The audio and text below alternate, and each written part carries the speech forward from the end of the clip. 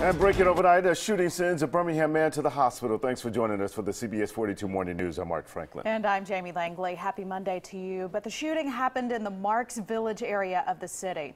CBS 42 News reporter Alex Finney joins us live from Birmingham Police Headquarters with the very latest on that. Alex, good morning.